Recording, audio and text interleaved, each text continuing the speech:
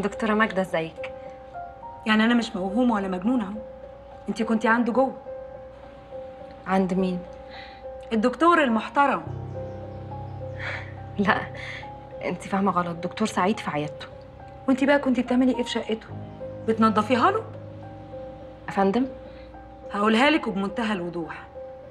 ابعدي عن سعيد وسيبيه في حاله. راجل كان زي الفل. وحاله اتبدل واتغير من يوم ما عرفك. أنا عارفة صنفك كويس.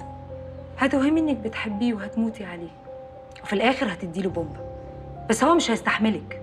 سعيد مش كده. أنا نبهتك وحذرتك. عشان ما لومش نفسي إني ما اتكلمتش لما كان لازم إني أتكلم. عن إذنك.